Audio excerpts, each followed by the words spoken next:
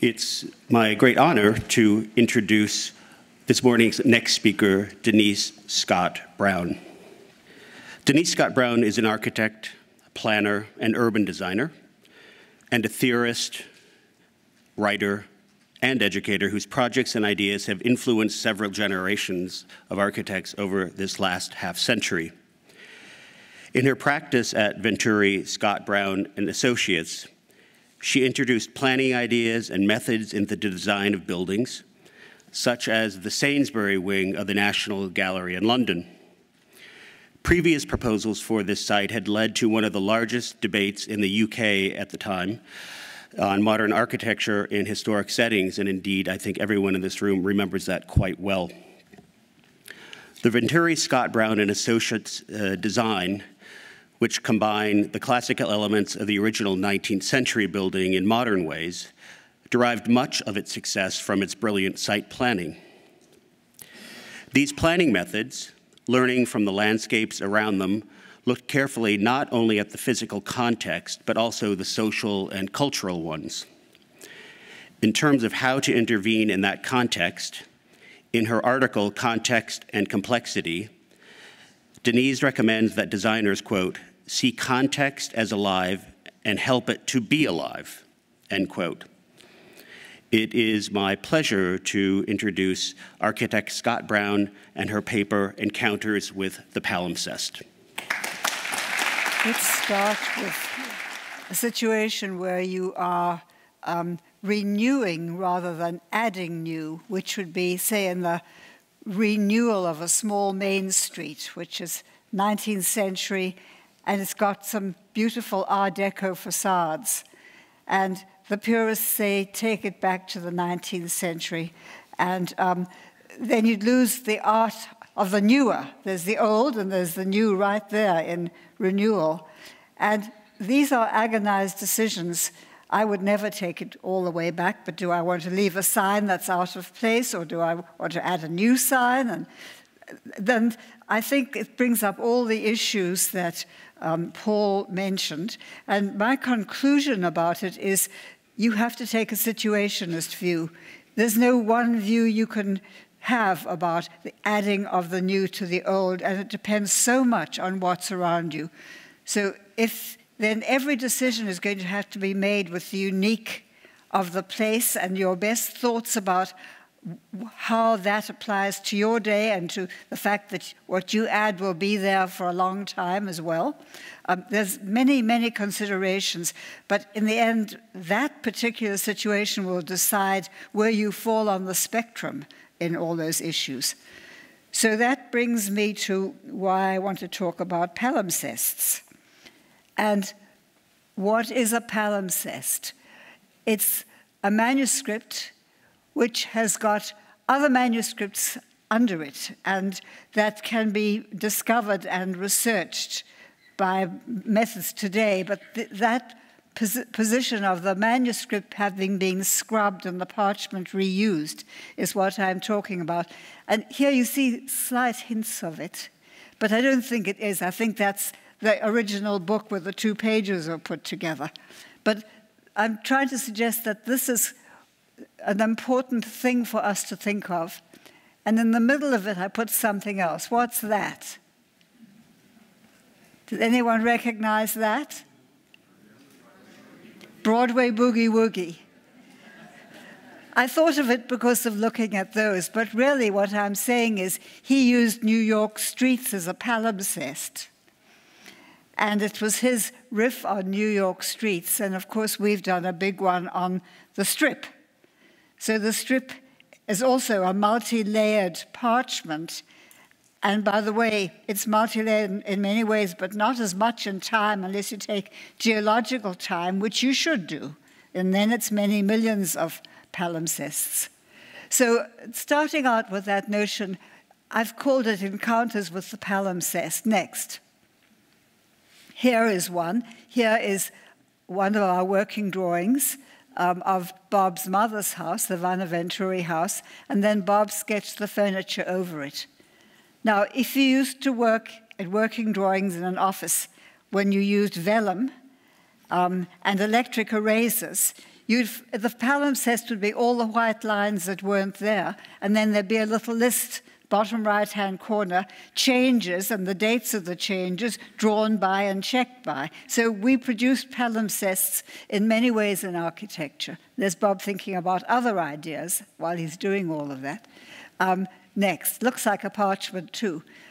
But our computers do the same thing. Look at all the layers that you have to deal with a, with a CAD drawing. It looks like one of those illuminated manuscripts.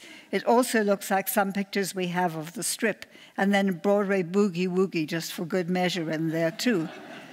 so um, if I can't make it pretty, you won't even want to look at it. And if I can't enjoy the making of this, that's part of the palimpsest too. Next. But now there are palimpsests in cities. This is Vienna, and there's the Ringstrasse, which was the wall around the medieval town. And inside there, it looks to me like more ancient walls and maybe even some kind of, I don't think Vienna was a Roman city in the beginning.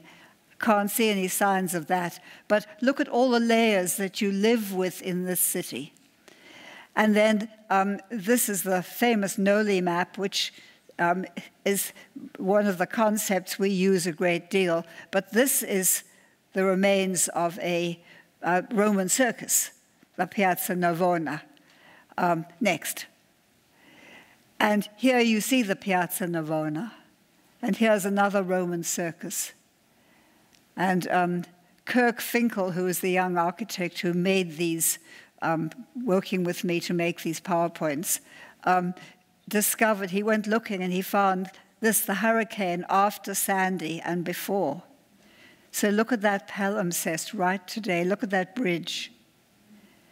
And to, to go ahead in this diagram, too, Look at how the people form a kind of a pattern, dense near the waves and further away, and then the pattern of the parking. Next.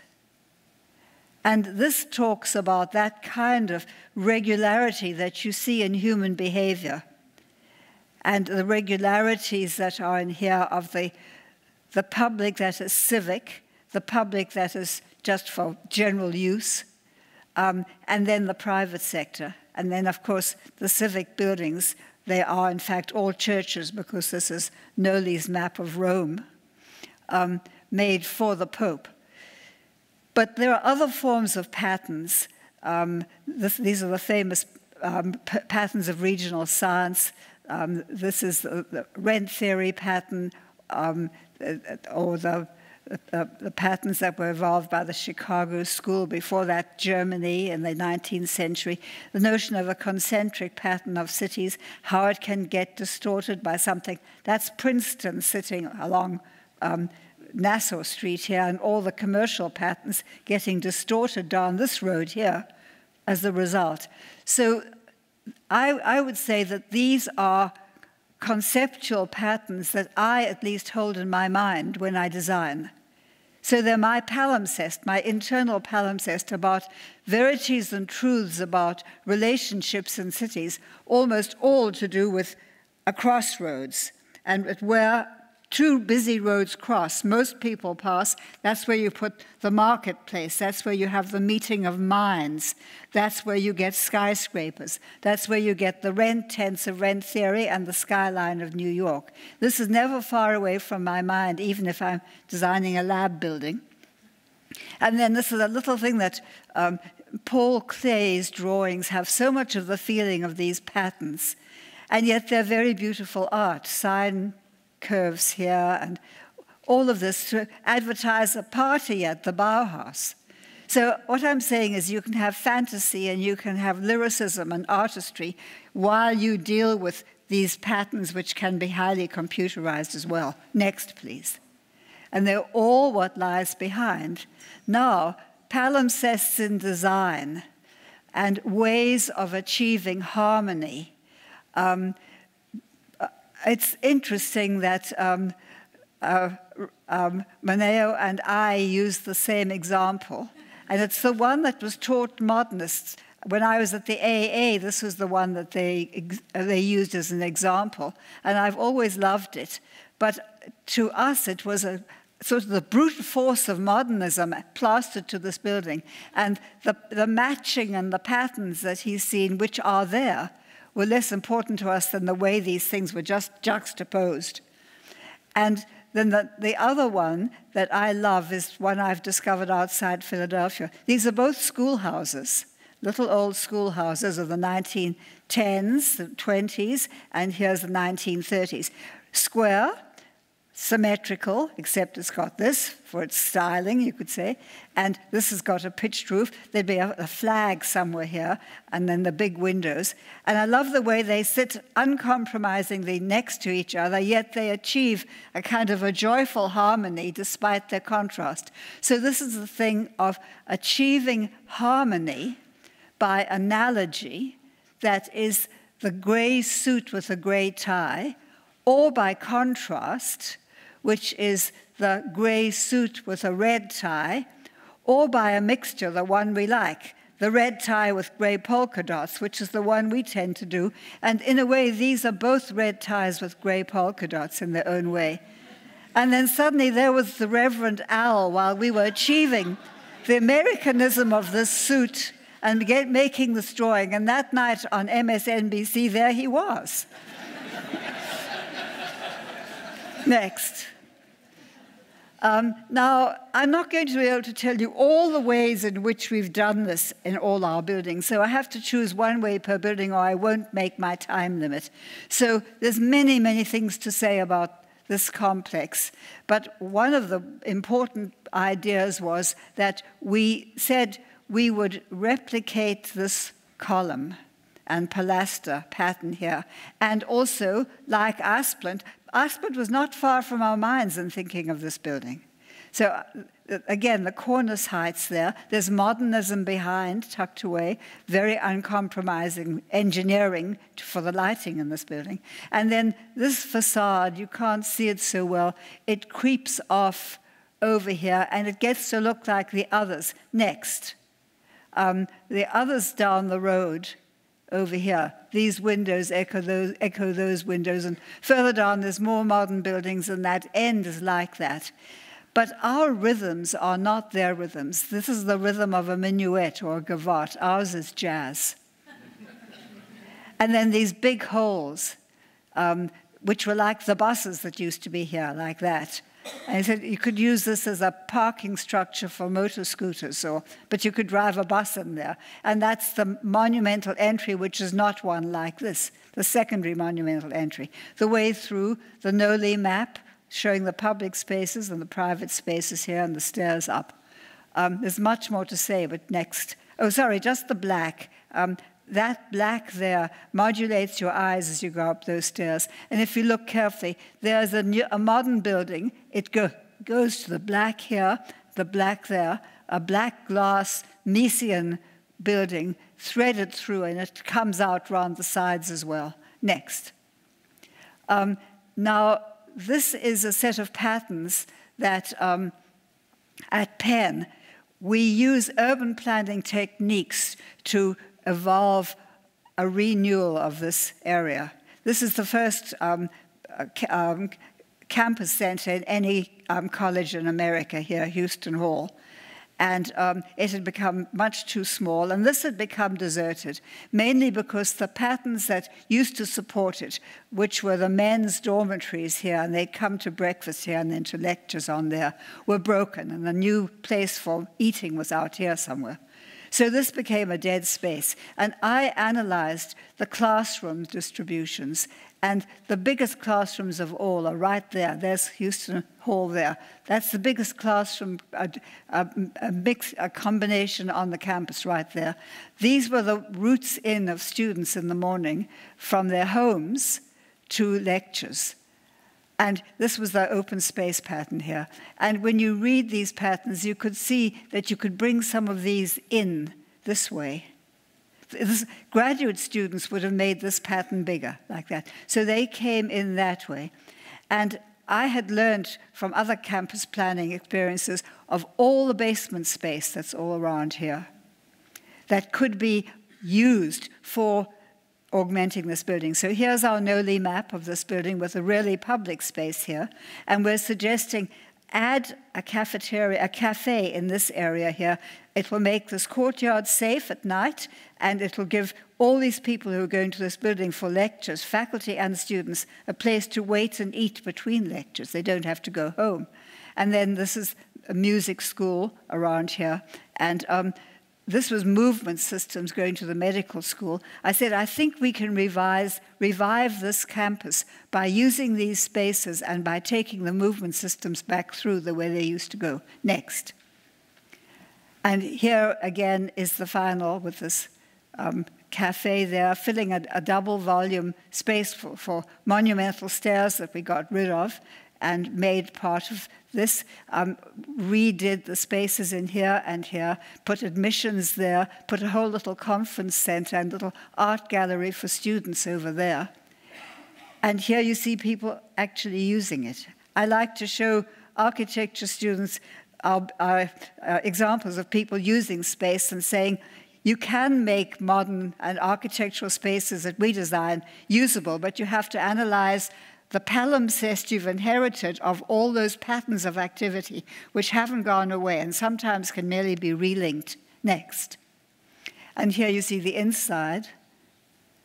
That's actually an art museum. We use the basement. We lowered it three feet, and we've got a big cafeteria in there. And we just brought back the atmosphere and then put something new and in plastic in with it. Next. There's the cafe. And, the, and there's a, also a study hall in this space here, much used. Next. Um, this is Nikko Kirifuri Resort. It's a spa in a national park. And again, we get the feel of Japanese architecture. And then we were faced with new materials, cheap and not lots and lots of little joints of wood. And what kind of way should we treat this cheap new material to feel still Japanese but still be new? Well, Broadway boogie woogie. and then um, this is a bridge that you go through when you go into the, the holy city of Nikko, which is the te temples there. Um, and it was a bright red bridge, and we wanted to make it a rainbow pattern bridge.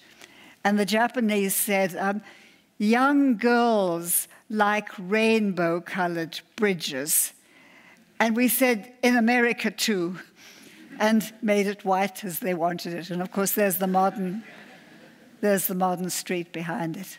And we did a great deal of conservation planning here for the, the wilderness, which we put all this into next. And here you see we made a, a village street as the main lobby and we borrowed from the museum patterns of temple, uh, of, of um, clothing, and put them as the balustrades, as the banners here. And that is the spa. And it um, has steel structure, and it's got Japanese um, leaves hanging from it, fall in one color and spring in the other, in the other direction. Next. Um, and we, we, did a lot of cultural research and looked into all these Japanese things and then adapted them to our needs.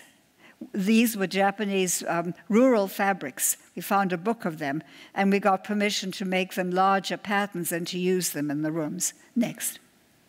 Um, this is Denver, and it's a grid city, and here is the Civic Center, and we have to make a plan for them for the addition to their art museum here. So I made a, a campus plan, or rather a, a, an area plan in this area, which I can't show you.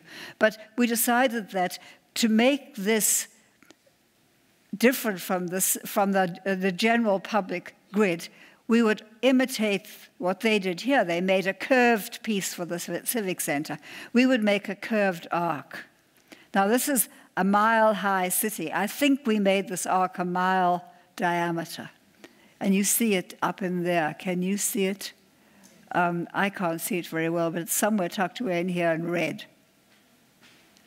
And so the idea is that that is a much bigger scale than the over here, and you see a piece of it. Libeskind, when he built the building here, tried to respect that idea. And, and so I said, it's like you found a Roman circus under Denver. And they said, we always knew Denver was older than 100 years. And then saluting Denver, we said we'll define this area by points, not by anything else, and it will make something that you see the mountains through. But to them, and I said, look, it's got all the characteristics of monumental act, um, architecture a, a, striking silhouette and differences in scale, and um, things at the bottom to do with human scale. And so I loved this idea, but they couldn't stand it because it looked like oil pylons. Next. And here again, we have to add a building which you can never do well on a, um, a symmetrical plan. And again, Asplund comes to mind. But we had to have two stories right here of connection. So we couldn't make any little link any more than he could. Ours sits as much as his does there, but there's a little hint of a link there. And the, the carefully, this um, roof is taken up higher so it doesn't interfere with that roof. It gives us a very unusual space inside. You can see it here. And it's a big art, a pop art gallery in memory of Ellen Johnson. And then um, labs and conservation and studios over here. Next, I wish I could tell you more. I can't. Um, and then here is a site we inherited to make a museum to Benjamin Franklin where his house had been. And here's the plan of the house, but there was no, um, no record of how it looked. And so I said, don't put a building in here. They wanted us to put a building. I said, you wanted to have no windows anyway. So bring Ed Bacon's greenways through this site and let it be a park with a way through it and usable at lunchtime by people. And we'll enter here and go down into the basement and we'll put the whole museum underground here. And then Bob suggested that we make a skeleton of what the house was probably like, because here we could restore, there was full records in the structure itself, palimpsests of all where, where the structure had been in the party walls. Here there was nothing, so we invented it. And we showed the plan, and we showed excerpts from Franklin's letter to his wife saying what he wanted there. And when you see people looking down at this plan, it's because they're reading those things. Here they are, reading it. And these are light holes to show you the middens, the, um, the, the, garbage uh, pits in this house. Um, and then here we put the plan of Benjamin Franklin's Philadelphia and Welcome Park. So we're creating palimpsests, we're using them, we're using old relationships in new ways. This is an enlarged version of a colonial garden, which would make it a kind of Edwardian garden. Next. Um, here's Toulouse. And Toulouse is um, a brick city. The Gothic is in brick and it has this beautiful rosy color to it. And as you fly over it, you see that the historic part of it is all in red brick. The, uh, the outskirts are white and limestone and brick, kind of, on a smaller scale. There's their amazing cathedral. And so this was the context for a very large building we had to add next. And here you see it in the Google map of the area um, there was a, a renewal project here of commercial, and there was a little commercial street at the Pont de Nîmes, Pont, Pont de Minimes, on the Canal de Minimes. And that, I said, here is our site. Here is our site. And this is an old arterial route. These are medieval streets, and there's the canal. Amazing surroundings. And, um, and there two, two towers used to stand right there. And I just looked at the site, and the, the, we had another architect with us, two more architects, and he began to say, There's room for a slab here and for two slabs here, and there's room for open space. And I said, Just wait a minute. The thing to do is to connect this commercial with that commercial by a diagonal right across. And it's the famous chicken bone plan, well known in Los Angeles, for uh, Victor Gruen inventing it for shopping centers. So you really have that here. Let this be a way through. People can go to pay their taxes in these two buildings here. We have made buildings which are low enough for the surroundings here, which are very small scale. You can't see that this is white and, and red brick. And back here somewhere where the city is, downtown is more red brick. So we had a tie in with this very small scale around it and the busy traffic in all of this area here. And a big road across there as well. So they, you come in here and you pay your taxes and all of that here. The deputies come to the Salle de l'Assemblée this way by car. There's a major parking structure under all of this. And then this is a little like the mairie in the, in the French town, the little square in front of Town Hall. But Town Hall is a homage to, um, to Le Corbusier, You'll see. Next, please. And um, here you see it from the other end. You can see these little houses here. And here you come in, and there's the canal and this beautiful urban infrastructure of the canal and all of that movement way across there, but also the bridge coming this way. And then we could manage green over here, and then the entrances from the med medieval side next. And so, like the city, we made the inside in red brick and the outside in red and white. And then we made these passerelles, they call them, passageways across all the stories of the building. So you see people walk through here. And if you know Philadelphia's 30th Street station, you know what palimpsest was sitting in our minds. So here is a way, and at the end you see more little buildings in that, in that lit part down there. Then there's an arcade over here, and here's the Le Corbusierian end here, but it's got painting in, in steel and glass on it as well. And this reflects this very beautiful Mediterranean sky in lots of different ways. These are reproductions in the, in the flat of the columns that you saw, which had been around the street here, and we moved them here. And there is sadly a gate across here, which sadly they use more often than we intended after 9 11. And these are scale um, uh, uh, they, they, make a gradation of scale between you, the individual, and this big complex as you walk in. Next. Um, and we tried, you know, it looks pretty monumental in one way, but we loved and wanted all of these views of cut off monumentality, things scaling with the existing. And every time we took these pictures, I looked for red cars before I took it. Next. And this is the other side. Now look at that. It's vast administrative offices, and the scale here is individual scale. And then here you see again this here. Next. Um, I, I love this one with the graffiti. And there's the canal. It's got another identity on that side. It changes with every side. Next. And here is our painting. Their logo, by the way, is a rainbow again, and they didn't like it. And we, we made it this way, and then there's Meissen here. Next. There's, and see all these scale combinations and the little town square here. These also, they are very big arcs. They suggest the region. This is a regional governmental administration center, Hôtel du Département de la Haute-Garonne. And so that suggests the region. This suggests communal, civic, and then these are individual. Next. And you see the ways through here and the, all the different ways. And I'm beginning to talk about an order of architecture.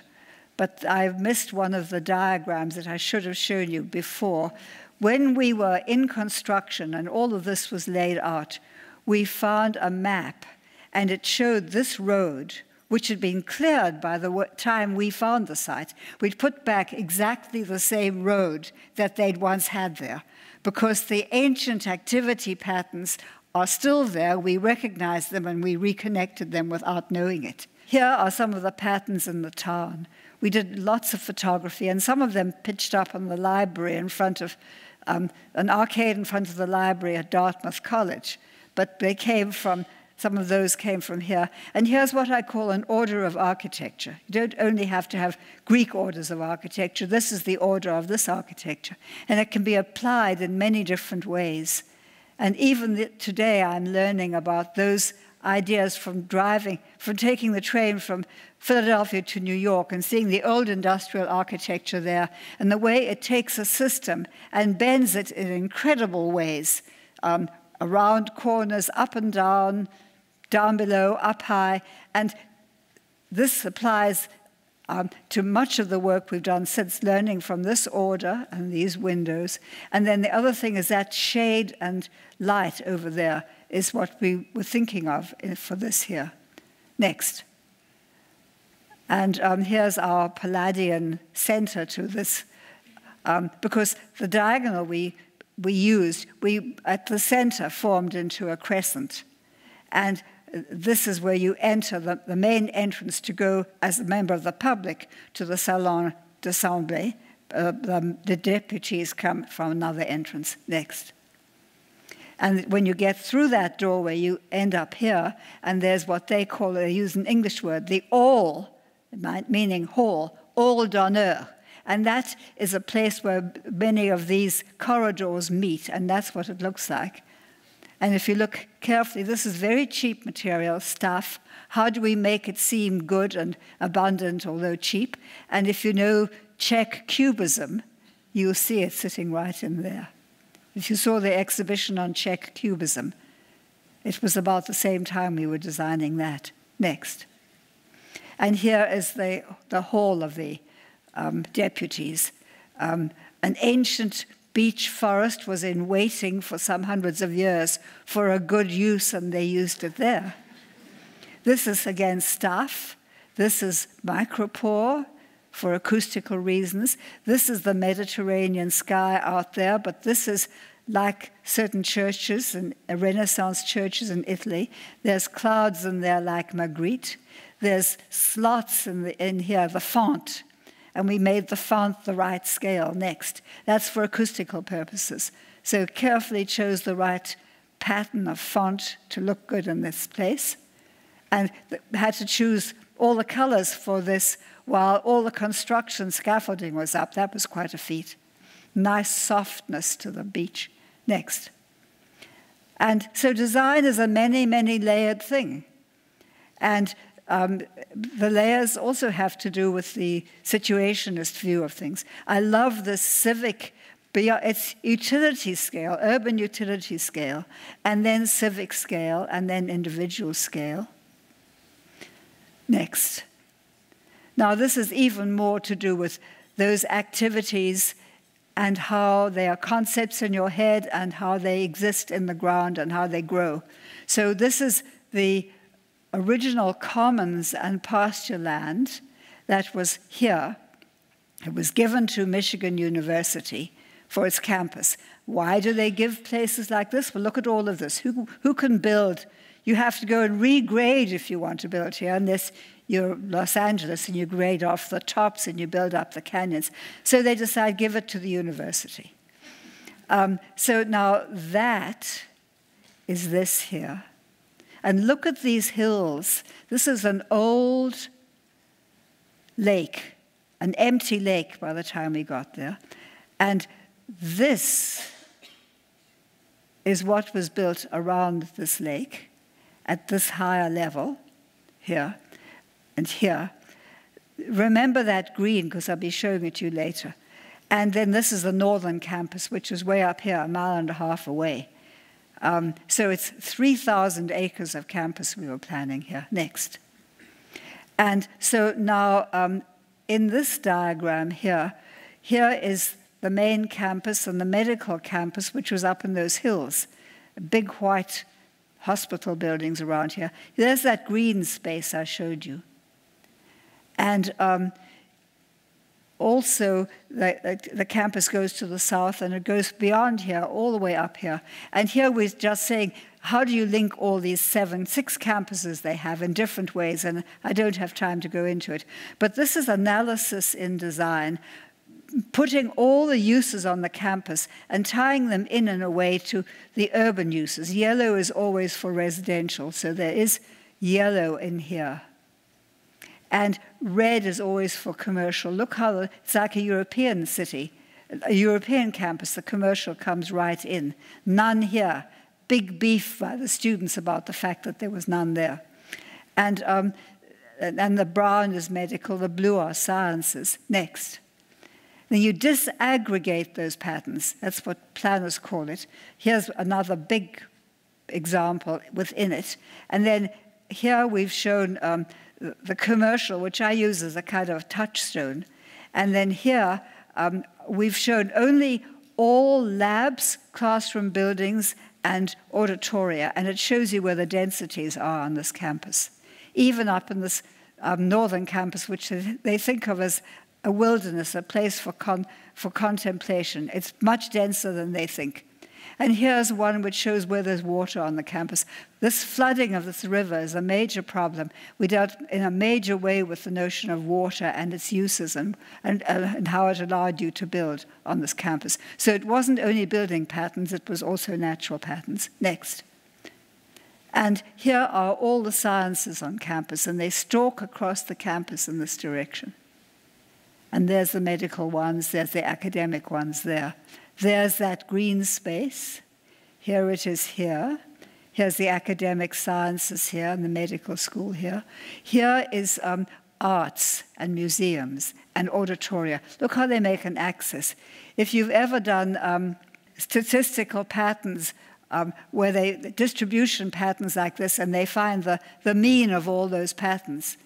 And suddenly I saw this as a, a, a statistical distribution of different incidents and the mean is the road that's there, like that. So I said, you have an arts axis that goes into a science axis here, and here's a place where you're going to put three labs, I'm sure. They said, how do you know that? Because I said, every university we worked on has built three or four labs in the last 10 years. And just after that, the president did announce his plan to build labs. So we already knew where the pièce de resistance and the first piece of this campus would go, would, would go right where this green is here.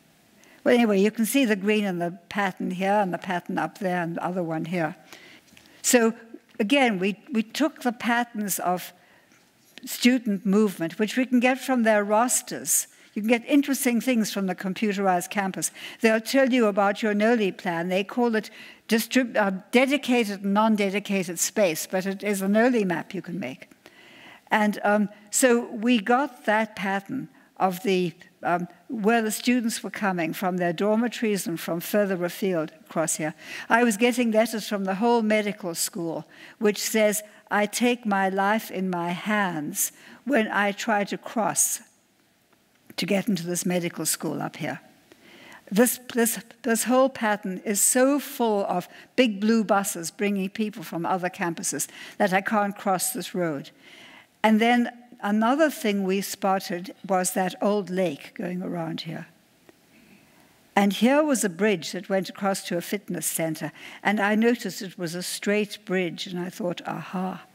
And I'm very tuned to look for levels on campuses. Planners do spatial planning, but they forget to do, now it went again, they forget to do um, vertical planning and they forget about all these levels. Someone needs to come and press it really, really hard again. Yes. I'm afraid your batteries are. Yes, I'll, I'll use them. Yes, this is a bit smaller, but I can do that there, yes. So now we're back in business. So the lake goes here. You can cross here, but also you can go here and cross that way. And that means you can come from this, the famous diag on that campus. Um, I don't know. I can't see that light. Maybe you can. Yes. yes. So you can go that way, but you can go this way. And what do you get where those meet? My meeting of minds. I call that the meeting of minds on that campus. Next. So we're analyzing all these patterns, and then having done that, um, we show where the needs for movement are. And we show where they're very difficult. So these move, these, there's 40 foot difference between the, along this top edge of the medical school. Um, where the river is, there's a floodplain, and so there's, it's very difficult to get across to the medical center from those areas. And um, at the same time, I found bottom right um, map of Olmsted showing areas on the campus where people can't get to between because of that same problem with the road. And in the 60s, the, ca the campus architects then showed a form of ectoplasm connecting things, but they didn't show what it was. So we went into that whole thing. And next. Um, here you can see we put together the arts and science axis, this movement up here to where I thought they'd have the lab buildings. And here's our Nolli map. We put every single pathway on that map on here. And again, we see where you need connection. Then we do what transportation um, uh, engineers call desire lines. It sounds very romantic, highly computerized studies, but you, can you see where the green lines go? You see how it forms a triangle, which I may or may not be pointing to. but anyway, you, you can see the triangle here, and there's the equivalent here. And that is the place where I can take a road across and across to the medical center, and another one here, needed another one going straight north. And I can get in that hollow area 960 cars. This is Detroit. And on top of it, a science, uh, a life sciences complex and a commons building. Next. And here you see that Nolli map. Nolli didn't have to deal with parking lots and he didn't have to deal with green space. Um, and here, with all the parking there, and now you see I've actually, I had a medical student who became, went into architecture school. And he and I were thinking of nerve synapses, and we just continued these paths across in logical ways to where they needed to go. And then here's a life sciences lab building and a, um, a lab teaching lab building and a commons building. And where these two cross is my meeting of minds there. And the bridge goes on like this. And I'll tell you the end of the story first. Um, when this was being constructed, and each of these projects had a fence around it, which corresponded also to the mental attitude of the architects who then began to take over. And I had to really lean on everyone to let us at least get the column system and the, and the escape system going before they put mental fences around their projects and got on with it. Um, but anyway, the students, they sent me a, a message from the planning department the students have discovered your shortcut and they've broken down our construction fences and they're riding their bicycle across it. Well, for me, that was as important as telling me the buildings look beautiful. Next. And so here, if you do a linkage study, which planners like to do, you see people from the arts coming from the west across this pathway, and from the south, it's arts and sciences, and then toward the medical fields. And I call this our linkage salamander. And there's the meeting of minds where they all meet there. And you see that these roads, we had in mind Venice, where the medieval roads go where they have to go, and then they open where they need to open to let people in, and they narrow again. And to decide what the optimum size was for these different things, we put people up against a blank wall in our office and we said, you two walk together and imagine you have a pushcart with you and we need a space between you for passers-by. And we arrived at that bridge as being 14 feet by doing that kind of study in the, in the office. And then these streets, which Nolli showed, we also take into the insides of the buildings. And um, I've got meetings of minds at each end of this lab building where people um, the corridor uh, along the labs meets with the, um, the vertical circulation, and that's where the coffee lounge is. And you can't drink coffee in the labs themselves because of the expense of the machines. So, where will the next Nobel Prize be generated? At the lab bench or inter in an interdisciplinary way in the coffee lounges. So, I, as an urbanist, must stay in these plans. I love to, because I love the detailing of it all, but I must stay into them until right up to the hinges on the doors, because if they're self closing hinges, no one will meet in the coffee lounges. Next. And there you can see it looking like a medieval street. And um, here's the overall from courtesy of Google. And here's our meeting of minds as we drew it. And here are people sitting where I wanted them to. And I have secrets about this thing. You see, we say um, we don't demonstrate, we reveal. So they, it's been revealed to them that if they're coming out of this building, and a lot of people are coming out here and walking out here, that's why it's a meeting place, and coming up from there, that's a good place to sit. And if you want shade, there's shade too. And there are sociologists who say you can't say what is a public space or a civic space. People will make it civic. Well, I say most of the time they'll be eating their sandwiches over here. But if someone comes and plays a violin here, they'll form a group here, and it becomes a community. And then we had to have this uh, stairway down, but we welcomed it. I say someone can come and act Julius Caesar here, and a whole army of centurions can come up the stair. Now, I didn't tell that to the scientists here because I'm sure they don't want violins except at lunchtime. But that's what you can do if you have imagination and say, gee, this would be a good place to, to act a play. And that's what I love. Next. And coming on to another piece of this, and I know I must go fast now. So here's our order of architecture. Where did it come from? There's our meeting of minds. Look at how this order can do all these different things. Look how it can make a nice front entrance out of itself. This is bioinformatics here, by the way. That's the common, that's a, a big cafeteria here. That's, it takes the shape of an auditorium. This is a, a place for uh, meetings, and it's an atrium, but we make our atria eight feet wide. Atriums are such a waste. But you can look out from three stories of windows onto this green, which is the same green I've been drawing for you in all those plans. Now, Mies van der Rohe learned about steel and glass from Albert Kahn, but we learned about brick labs from that same Albert Kahn. He built all of these at Michigan. And we looked at these and we thought about scale and we thought about modernity. And we said, we'll make a giant order here because our labs are a little bit smaller than his to get a feeling of scale.